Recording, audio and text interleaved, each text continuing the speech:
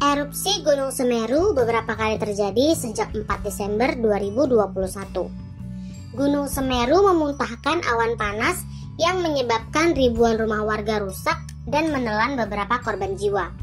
Awan panas merupakan salah satu material panas yang dihasilkan dari aktivitas gunung berapi. Terbentuk dari aliran suspensi bermuatan batu, kerikil, pasir, dan abu vulkanik yang keluar dalam waktu bersamaan dengan gas vulkanis.